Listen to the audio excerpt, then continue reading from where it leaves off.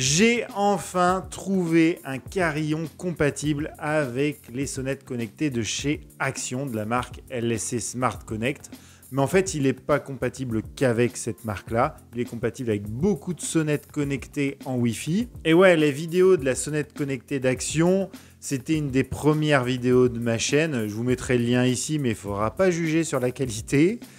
Et vous étiez quand même nombreux à l'époque à me demander euh, de trouver un carillon qui pouvait être compatible avec cette sonnette parce qu'elle perdait un peu son charme. On recevait bien les appels directement sur le téléphone, mais bon, comme on n'a pas tout le temps le téléphone avec soi, c'est bien d'avoir un carillon directement chez soi. Quelqu'un sonne, pip, ça sonne dans la maison. Voilà, comme une sonnette classique. Alors j'ai fait beaucoup de tests, j'en ai commandé pas mal, j'ai perdu pas mal d'argent avec ce petite recherche là.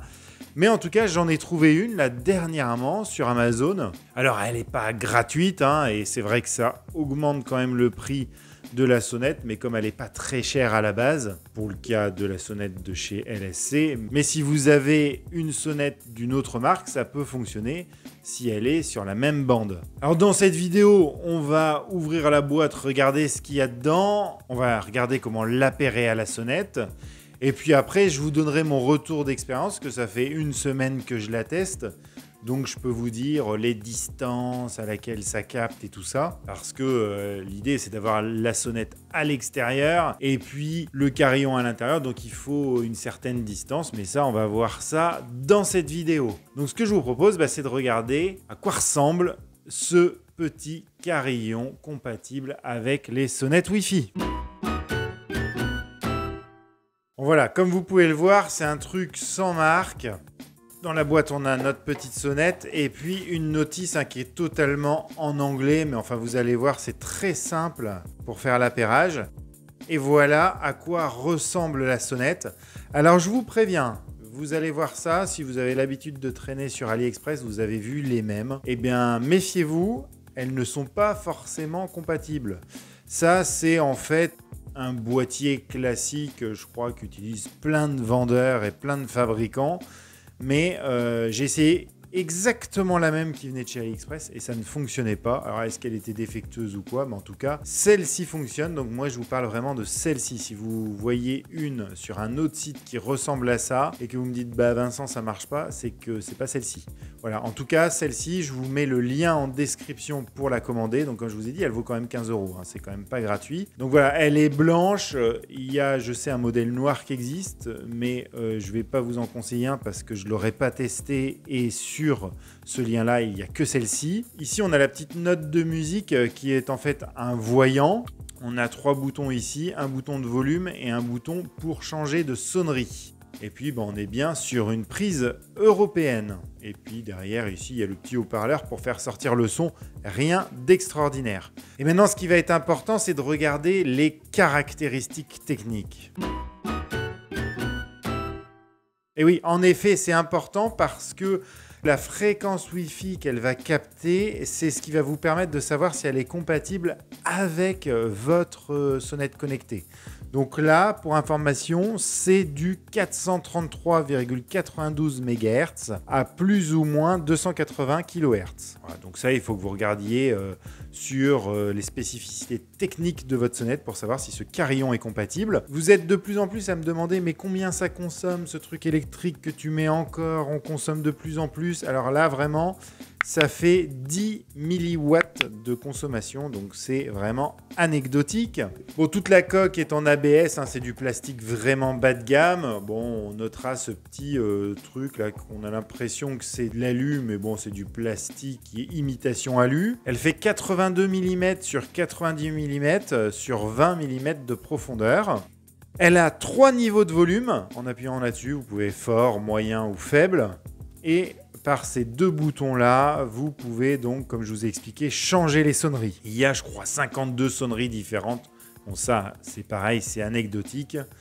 Et elle fait un poids de 82 grammes, donc c'est hyper léger, ça fait très très cheap, mais bon, on lui demande pas d'être super résistante hein, en même temps. Voilà, au niveau des caractéristiques techniques, rien d'extraordinaire. Et maintenant, bah, ce que je vais faire, c'est vous montrer comment l'appairer à votre sonnette connectée.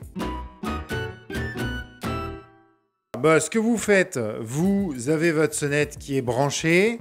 et vous branchez votre petit carillon. Voilà, donc la première fois vous le branchez, il sonne. Ici, vous pouvez donc régler le volume du son. Voilà, et puis ici, vous pouvez changer les sonneries. Voilà. Bon, il y en a tout plein, hein, ces gadgets. Hein. Et ce qu'il faut faire pour l'appairer, il n'y a rien de plus simple. Alors là, c'est même pas un tuto, les gars, c'est vraiment hyper, hyper simple. Vous appuyez longtemps sur le petit bouton de volume, là, 5 secondes. Le petit voyant reste fixe et vous avez 4 secondes pour appuyer sur la sonnette. Et voilà. Ça y est, vous êtes connecté.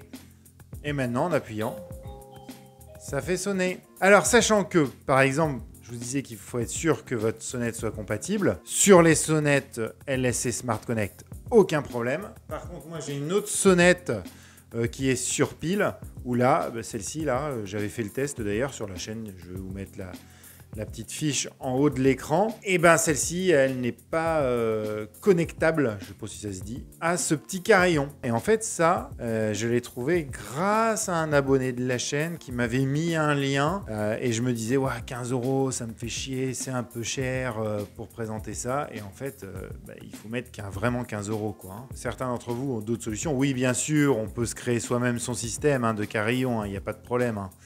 Mais euh, voilà, si vous avez une autre sonnette euh, à bas prix, euh, bah, n'hésitez pas à me le mettre en commentaire. Hein, je serais toujours intéressé d'aller voir ça. Alors ne me mettez pas le lien dans les commentaires, ça ne marchera pas. YouTube va l'enlever tout de suite. Envoyez-le moi par mail ou sur mon Insta. On va passer tout de suite à la conclusion. Et dans cette conclusion, je vais vous faire mon petit retour d'expérience en vous parlant de distance et tout le tintouin. Alors, elle est pas super cette sonnette. Oui, elle l'est, ça c'est sûr. En tout cas, voilà, ça peut régler un souci. Moi, j'en ai vraiment plus très besoin parce que je, l'utilise plus trop la sonnette de chez Action. J'utilise celle-ci parce qu'elle est compatible avec euh, mon Echo Show d'Amazon. Et donc, du coup, quand quelqu'un sonne sur mon Echo Show, euh, j'ai la vidéo euh, directement.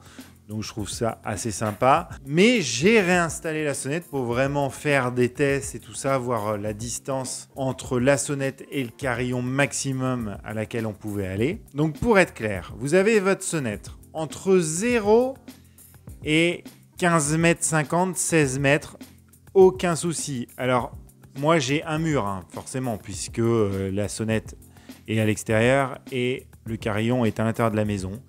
J'ai un mur jusqu'à. Alors, c'est un mur de maison moderne en briques, plus euh, derrière euh, l'isolation. Jusqu'à 15 mètres 50, 16 mètres, ça marche impeccable. 16 mètres, on va dire que euh, ça marche, mais ça marchouille, quoi. C'est-à-dire qu'on appuie, des fois ça sonne pas, des fois ça sonne. Ça doit dépendre, voilà, du sens du vent, enfin j'en sais rien, mais en tout cas, c'est limite 16 mètres. Et au-delà de 16 mètres, ça ne marche plus.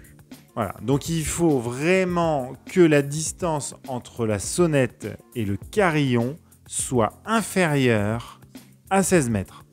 Si vous avez un seul mur. Si vous avez deux murs, eh ben, ça sera un peu moins. J'ai pas testé, mais voilà. Voilà, après, le son est suffisamment fort. Euh, c'est bien qu'on puisse régler. C'est marrant qu'on puisse mettre la sonnerie qu'on veut. Et donc, euh, si je vous recommande ou pas d'acheter ce produit, si vous êtes à moins de 16 mètres de votre sonnette, allez-y, il n'y a pas de souci. Si vous êtes à plus de 16 mètres, eh ben, évitez. Voilà, bah, écoutez, je vous remercie d'avoir regardé la vidéo jusqu'au bout. C'était vraiment une vidéo rapide. Si elle vous a plu, n'oubliez pas de mettre un petit pouce bleu et si ce n'est pas déjà fait, n'oubliez pas de vous abonner à la chaîne. Et moi, je vous dis à très bientôt pour de nouveaux tests et je vous dis allez, ciao